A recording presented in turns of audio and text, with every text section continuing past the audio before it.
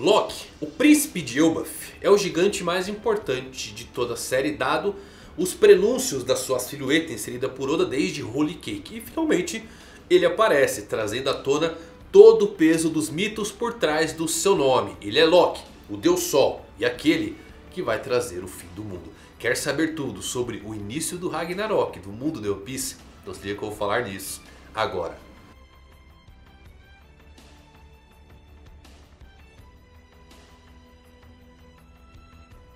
Fala galera, Evandro Fusari com mais um vídeo pra vocês, como é que vocês estão? Tão bem né? Pô, fala a verdade, melhor capítulo da história já lançado. Eu duvido quem não concorda com isso. Tá um absurdo esse capítulo, sério. Eu li umas trocentas vezes com um sorriso no rosto. Fiz esse super review detalhando tudo pra vocês. Também com um sorrisão no rosto, né? Porque One Piece, fala a verdade, está num nível nunca antes visto. E temos a revelação de Loki superando qualquer expectativa. Eu achava que seria um Raizu, cabeção de Tolten, né? cabeça de caixa d'água, mas não. Tem um visual pra lá de irado, mas qual é a sua Akuma? Já descobriu aí? Assiste até o final, tá muito legal esse vídeo. Se você é novo, vai na maciota aí. Se gostar eu peço pra você escrever. Se é da pior geração, dispara o dedão no like para dar força pra esse vídeo. E antes disso, Dá um confere só no que eu trouxe pra vocês aqui e de graça, hein? Eu gosto de dizer que todo mundo é pelo menos um pouquinho nerd. E é legal saber que hoje em dia temos um dia especial para se orgulhar disso. O dia do orgulho nerd. Mas você sabe a origem do dia do orgulho nerd? Uma delas é o lançamento do primeiro Star Wars. E a outra vem de uma série de ficção que eu amo. Escrita por Douglas Adams chamada O Guia do Mochileiro das Galáxias, que é uma história que se inicia basicamente com a informação de que a Terra vai ser destruída para a construção de uma via espacial. E o nosso protagonista inicia então uma jornada pelos confins do universo. Tem um filme que foi lançado sobre essa série, bem legal. Se você ainda não viu, fica a recomendação, tá? Mas o Guia do Mochileiro das Galáxias na história é um dispositivo eletrônico que contém informações sobre todo o universo. E entrando de cabeça nessa grandíssima referência, a Alura acaba de lançar o Guia do Mochileiro Tech. Esse material aqui busca ser o manual definitivo com informações sobre todo o universo da tecnologia. Compilado de conteúdos gratuitos que te ajudam a desbravar todo o universo da tecnologia. Se você busca insights de experts e materiais valiosos para evoluir na sua carreira, esse é o guia que vai te conduzir por todo esse caminho. Seja qual for o nível de conhecimento que você possua. Em um único lugar você vai ter acesso a 20 conteúdos gratuitos. Galera, gratuitos, hein? Desde guias, checklists, vídeos tutoriais, projetos de vários níveis e áreas sem qualquer requisito para você iniciar essa jornada. Você só precisa ser interessado no universo da tecnologia, tá bom? Os conteúdos são todos construídos por especialistas referenciados na área de desenvolvimento, então não perca a chance de começar agora o seu mergulho em tecnologia com o melhor guia do universo tech. E os links estão tá aqui fixados no primeiro comentário e na descrição. Clica, aproveita, entra nessa jornada totalmente gratuita com a Lura, a melhor escola de tecnologia do Brasil. Então vamos lá meus amigos, nossa história de capo tem Yamato tirando uma pestaninha ali com Otama. Só que naquele momento uma sombra misteriosa se aproxima e acaba agarrando a espada de Azui para roubá-la. Nada muito a acrescentar nessa capa, deve ser a mesma pessoa responsável pelos desaparecimentos das pessoas no momento. Ou então pode acabar sendo, sabe quem? Onimaru, nossa raposa coletora de armas. Porque lembrem que Yazui era um Shimotsuki também. E Onimaru serviu diretamente essa linhagem com o Shimaru sendo o seu mestre. Então isso pode acabar levando Yamato a Ringo. Quem sabe não vejamos o tão falado túmulo de Ryuma. Já o capítulo começa no navio dos gigantes que anunciam a interrupção nas buscas de Luffy e seus companheiros. Eles fizeram tudo o que podiam. O Jinbe até pediu aos tubarões para procurarem nos mares próximos, mas eles não encontraram nenhum vestígio. Então a melhor opção que eles tinham agora era confiar em Luffy, nos seus Nakamas e irem para Elbaf, já que o destino original deles era sempre esse. Os gigantes concordam e o navio continua então sua jornada à Terra dos Gigantes. Mudamos para o grupo do Luffy, eles saem do diorama The Road e descobrem que estavam na verdade dentro de um castelo gigante no meio de uma terra nevada, cercada por florestas e montanhas.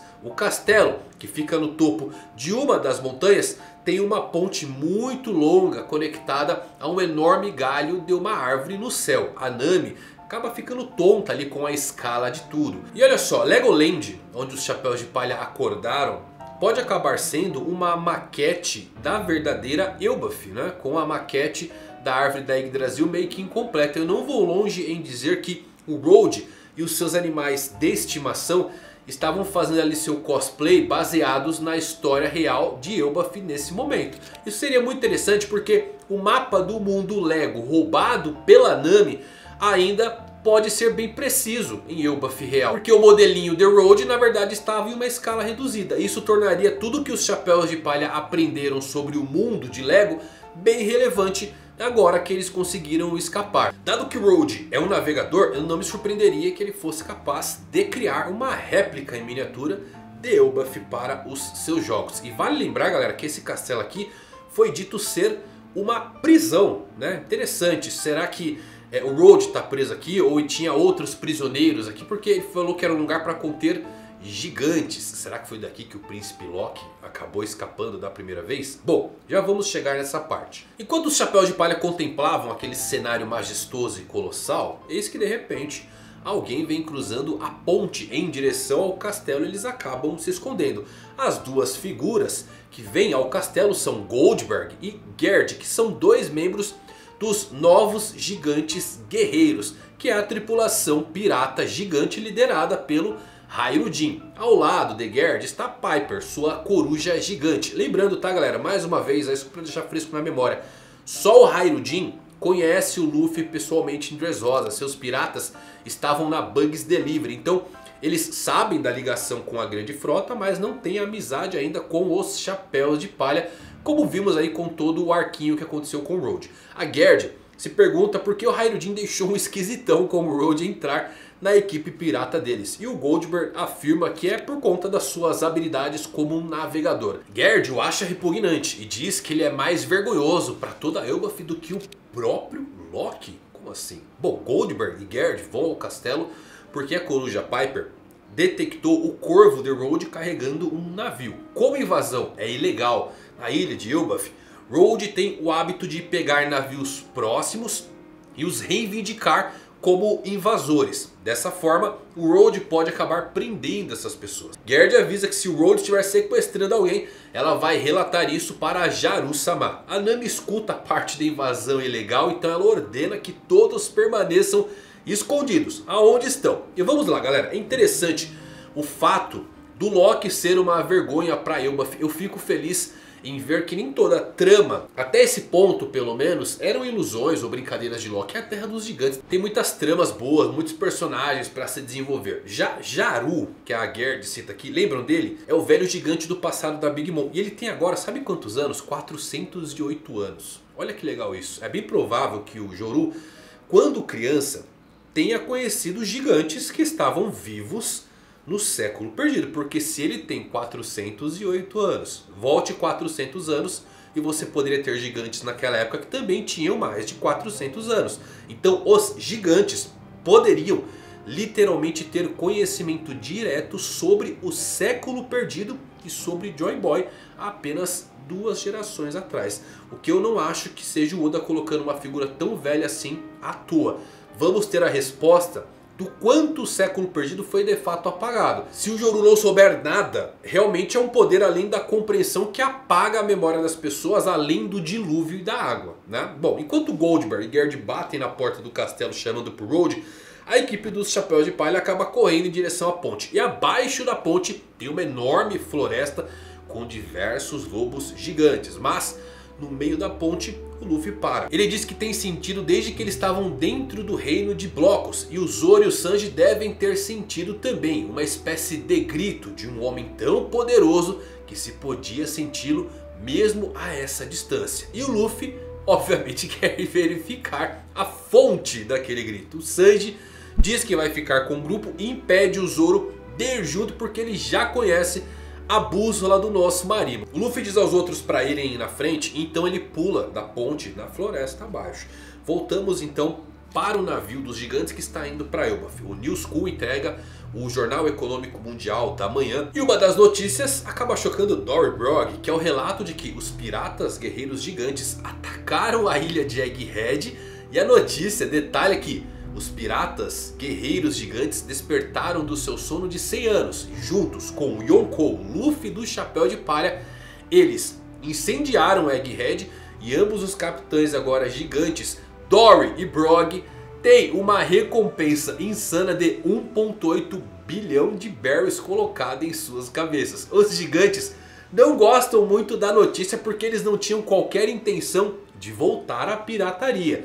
Já seus tripulantes, por outro lado, ficam entusiasmados com o impulso das suas recompensas que eram de 100 milhões antes dessa super atualização para mais de 1 bi. Mas então a Robin explica a eles que houve uma grande inflação de 100 anos atrás. E agora, e curiosamente galera, o Oda ele é incrível né? Eu fui dar um confere aqui nesse aumento da recompensa dos gigantes. E é extremamente próximo do que você obteria se você colocasse 100 milhões em uma calculadora de inflação de 1924 até hoje. Ou seja, em 100 anos teria aproximadamente 1.8 bilhão. O Oda ele é craque na matemática também, não colocou esse valor de forma aleatória não. Bom, eu acho que desde o começo os gigantes eles já foram feitos para serem alguns dos personagens mais importantes e fortes no final da série. Então a recompensa ser maior agora faz muito sentido, ainda mais considerando o que era inicialmente. Especialmente depois de Egghead, né, onde eles testemunharam as transformações dos Gorosei e também testemunharam Nika, o Deus Sol. Além do que, o jornal também relata que o Luffy é quem matou o Dr. Vegapunk com uma imagem enorme do Luffy usando a forma do Gear 5. E eu quero ver aonde o Oda ele vai levar isso, como ele vai trabalhar a imagem do Luffy daqui pra frente em relação ao mundo, porque o Luffy é um demônio pro público. é o verdadeiro bicho papão, segundo relatado no jornal. O Luffy se tornou uma figura pública depois de Enies. As pessoas não sabiam muito sobre Arlong e o governo encobriu tudo o que aconteceu em Arabasta. E o que acontece em Skypiea fica em Skypiea. E eles também encobriram o incidente de Thriller Bark. Mas tivemos Enies Lobby e Luffy declarando guerra, né? Impel Down, Marineford, Totoland, agora Egghead, onde eles invadiram, fizeram Vegapunk de refém e o assassinaram a sangue frio. Eu quero ver como Oda ele vai trabalhar a figura de Joy Boy libertador para o mundo em si e rompendo esse manto negro aí de mentiras jogado sobre o Luffy e os seus piratas. Mas continuando, Robin repara algo na foto do Luffy Gear 5. Uma marca X no braço de Luffy, na imagem do jornal e se pergunta... Essa marca sempre aparecia no braço do Luffy quando ele se tornava o mais livre. Afinal, ele está sempre pulando para lá e para cá, então você não consegue realmente reparar claramente. Só que a Robin nota que a marca X parece um pouco artificial. O braço dele está balançando, mas a marca continua clara como o dia. E então ela tenta se lembrar onde foi que ela já viu essa marca antes. E vamos lá galera, certeza que esse X tão característico que vimos em Arabasta surgindo não tem nada a ver com a transformação do Luffy, tá bom? O que aconteceu aqui? Foi a Vivi que desenhou esse X no jornal, no braço do Luffy e em todos os jornais para mandar um sinal para eles saberem aonde ela está. Entendeu? Ela mandou uma mensagem com X dando a entender a tripulação através do jornal que ela está com o Morgans das fake news. E como ninguém da tripulação antiga, exceto Robin, está lá, eles não entenderam a dica. É também por isso que o Oda decidiu separar os seis originais de Arabasta, para que eles não vissem as notícias agora e reconhecessem já de cara o símbolo. Certamente Nami ou mesmo Usopp vão decifrar esse código muito em breve, tá bom? Pode anotar aí, Vivi mandando uma mensagem, ela que borrou todos os jornais ali com X para eles reconhecerem o símbolo. O Dory diz também algo curioso, né? E pensar que o Chapéu de Palha agora está em pé de igualdade com o Ruivo. Olha só, esse jornal já deve ter as novas recompensas do Luffy. Só não vimos ainda, porque a fala aqui do Dory pode nos dizer que finalmente o Luffy está em pé de igualdade com Shanks, pelo menos nos valores das recompensas. Brog também comenta sobre como Hairudin se tornou um subordinado da frota do Luffy. Né? E o Kashi diz que o Hairudin é considerado um filho do rei. Interessante isso aqui, hein? Bom, Hairudin queria vir buscar os chapéus de palha em Egghead, mas não pôde porque ocorreram alguns problemas na ilha de Ilbaf. É explicado que enquanto Dory e Brog estavam ausentes no seu duelo de 100 anos, Loki, o filho oficial do rei, nasceu. E era um gigante maligno chamado de o Príncipe Amaldiçoado. E Loki é dito por ter assassinado o rei Harald, seu próprio pai, para reivindicar uma lendária Akuma no Mi que passou de geração para geração dentro da família real. E então Loki comeu aquela Akuma no Mi. Os guerreiros de Ilbaf conseguiram deter o Loki, mas recentemente ele estava prestes a se libertar. Então eles precisaram da força de todos os guerreiros de Elbaf para conseguir conter o Loki. Frank fica chocado que haja alguém tão poderoso que eles precisam do poder de todos os guerreiros gigantes. Eu também fiquei, Frank. Não, não julgo você não, tá bom? Convenhamos, né? Que diabo de gigante, que é no Mi é essa que o Loki tem? Tem que mobilizar Elbaf inteiro. Bom, antes de teorizarmos, galera... Esse capítulo ele é maravilhoso porque ele dá muitas ideias para nós, né? E me vem na cabeça que agora, e se a fruta que o Loki roubou era o que ele pensava ser a fruta do Deus Sol Nika? Olha que teoria legal que brotou na minha mente agora. E se a família real de Elbaf sempre teve a fruta de Nika desde o fim do século perdido, mas a Cipi roubou a fruta e foi o rei Harald que encarregou Shanks de recuperar a fruta da Cipi. E ele fez isso. Planejava devolver a fruta de Nika a Elbaf, mas como o destino decidiu, um jovem garoto na Vila Fuxa acabou devorando a fruta de Nika. Shanks pode ter encontrado outra Zoa mítica rara e deu ao rei. E Loki pode ter matado seu pai achando que tinha o poder de Nika nas mãos. É legal isso aqui, né? Agora, qual é a fruta de Loki? Certamente ela é insana, porque mobilizar todos os gigantes para o capturarem é algo surreal. Considerando que Ilbaf, até dos gigantes, é baseado nos mitos nórdicos, é quase certo que pode acabar sendo uma zoa mítica, né? Porque tem muitas criaturas é, míticas, lendárias, nomeadas na mitologia nórdica. Fenrir, de Hogg, o dragão, Jomurgand, a serpente, Sleipnir, um cavalo, Ratatosk, Hugin, Mugin. Tem muitos, então é, é uma tonelada de criaturas míticas e que nenhuma ainda foi representada diretamente como sendo uma zoa mítica. Né? Agora, olha outra coisa incrível. Hairudin chamado de filho do rei. Parece algo muito mais ligado de uma forma de consideração e não por linhagem como é com Loki. Vamos confirmar isso aqui nas traduções, tá? Mas é legal ver a proximidade do Hairudin com o rei. Mas o ponto é, quando o Hairudin surgiu pela primeira vez, ele se juntou como um gladiador no Coliseu Corrida em Dressrosa para competir pela Mera Mera no Mi. E ele diz duas coisas muito curiosas. Ele pergunta se já viram um gigante com uma logia. E segundo é, ele diz que com o poder do fogo ele se tornaria rei dos gigantes. Então galera, temos um potencial incrível de ser uma logia aqui nas mãos do Loki. Né? Uma coisa é certa, eu tenho certeza que deve ser algo ligado diretamente à representação do fogo, ao sol ou mesmo próximo de Nika. Essa fala do Hairudin aqui, né, com o poder das chamas, ele sendo rei dos gigantes, é bom guardar essa fala. O fato é que a fruta do Loki é tão absurda que os gigantes dizem que se ele se libertar ele vai destruir o mundo. E na sequência, primeiro eu caí na risada, tá? Por quê? Mudamos de cena, vamos pro ápice de tudo e vemos o Luffy na frente de alguém dito que vai destruir o mundo se se libertar. Você já sabe o que, que o Luffy vai fazer, vai libertar a fera, né? Bom, essa cena é absolutamente épica. Luffy encontra um gigante enorme amarrado com correntes tão grandes quanto ele no meio da neve. Esse gigante é Loki. Que visual espetacular. Olha, depois de tantas silhuetas falsas, depois de Raizou cabeça de caixa d'água, em todos esses anos dessa indústria vital, eu nunca esperaria um visual tão imponente para o Príncipe Loki. Ele parece realmente um Kaido melhorado versão Elbaf. Sinceramente, o design do Loki é brutal. Ele já se tornou um dos meus favoritos de todo One Piece. Ao mesmo tempo, a Lola rejeitar ele para um casamento hum. torna tudo mais engraçado, né? Porque considerando que ela tentou ficar com todos os homens solteiros que ela conheceu depois disso, soa bem engraçado. Bom, o Loki fala com o Luffy. E o Loki, ele fala ali com a língua meio pra fora, pendurada, né? Parecendo esse chamado de volta pro do Flamingo, vilãozão. Bom, Luffy usa o seu bordão. Eu sou Luffy, o homem que vai ser rei dos piratas. Que lugar é esse? E o Loki pergunta, rei? Bom, esta é Warland, a terra dos guerreiros de Elbaf.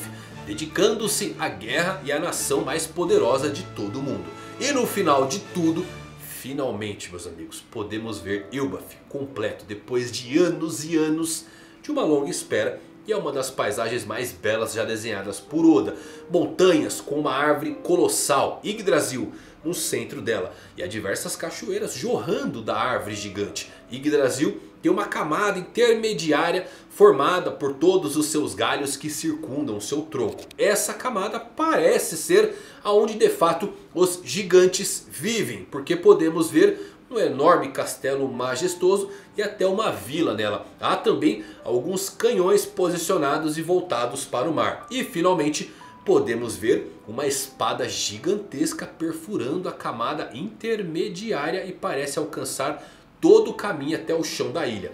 No último painel do capítulo, para ficar tudo mais épico, Loki continua falando com um sorriso malévolo. Eu sou Loki, o Deus Sol que trará fim a esse mundo. Que insano isso aí, muito bom galera, muito bom. Eu sabia que Yggdrasil era um colosso total. E ter cachoeiras dela torna tudo mais belo. Né? Que visão maravilhosa. Flashback da Big Mom inclusive. Quando temos uma parte do tronco já ali aparecendo de cantinho. Já dava pra ver um pouquinho dessas cachoeiras. Achávamos que era luz né. Mas não, era uma queda de água mesmo. Agora a espada gigante. Bom, eu ia dizer que ela parece muito maior que a espada que tem lá em Onigashima. Mas sendo sincero, não caio mais nessa armadilha. Não caio. Depois do Road... e antes disso, né? Já aprendemos que o Oda ele não faz proporções realmente consistentes. Ele nunca fez. Os tamanhos variam com base nas emoções que ele quer transmitir. Outra coisa importante. Elbaf é finalmente romanizada. Ao invés de F no final tem PH. O que não muda muita coisa aqui, tá bom? Pode continuar sendo Fable ainda, de fábula. É, Claro, lido de uma forma mais razoavelmente diferente. Eu acho que o Oda acabou escolhendo é, com PH no final para soar algo dito como um sotaque escandinavo. Agora o Loki, o destruidor dos mundos, se auto-intitulando Deus Sol é algo majestoso. Está relacionado à sua fruta. Seus olhos vendados também faz a gente se perguntar, tem algum poder oculto nos seus olhos? Os olhos de Imusama? Legal isso né? Eu acho que o Road estava copiando o Loki. Porque será que a roupa do Road vai dar alguma dica sobre a fruta do Loki também?